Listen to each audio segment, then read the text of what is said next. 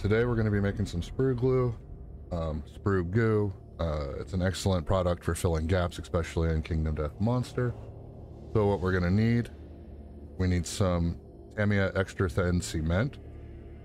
This will be a solvent that we're going to use to break down our sprue. Uh, we're gonna we're gonna keep a bottle of this good stuff for assembly later, but one bottle will be used. You can use this with any type of sprue. For me personally, if I'm doing 40k miniatures, I would want to use the sprues that those models came on. I think that filling gaps with the plastic that uh, the model is made of is just a better process.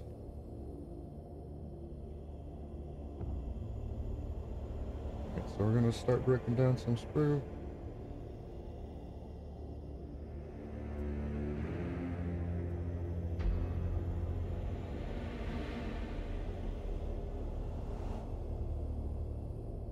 Alright, once we get a little bit of sprue, what we're gonna wanna do is open our bottle.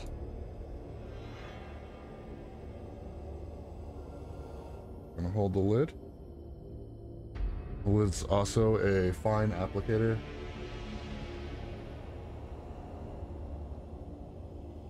We will just keep adding sprue until we're happy with the consistency.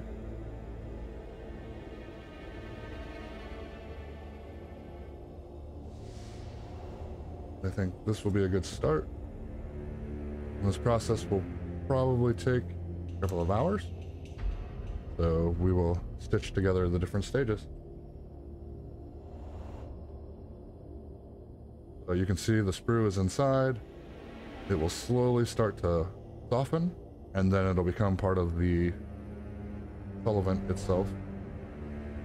How model cement works is that it creates a joint between two pieces of plastic by melting the plastic together.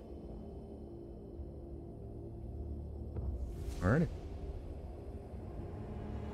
Alright, so we uh, have definitely made some progress on making some sprue goo. I ended up using a whole sprue. I had to take a little bit of the thinning liquid out of here, or the thin cement. Uh, as you can see, let me zoom in here. I've got a nice layer down here of melted sprue, and then some slurry. But it ended up using a lot more plastic than I thought. Uh, so, lessons learned so far, definitely would have used uh, a half empty bottle and went from there. I think the process would have been a lot easier instead of using a brand new bottle. So to show you how to use sprue I brought in this lovely model. Uh, one thing I do have to say is it's extremely detailed. However, there are situations and places where there are huge gaps uh, just from preparing the model. Uh, there's a seam that runs along the tail here.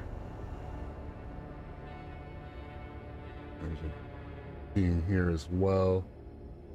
Try to find a good one to show you for this gap filling. Alright, so we'll, we'll use this horn here. And basically, once I open this bottle, we'll have a little bit of plastic on the end of our applicator. And we can very easily insert the plastic into the gap use our brush it out. Now it will dry very quickly as the cement evaporates. So I will need to come back in here and clean this up pretty quick as I don't want to lose the detail of the horns. Now you can see that gap is completely filled. We'll go ahead and zoom in on it.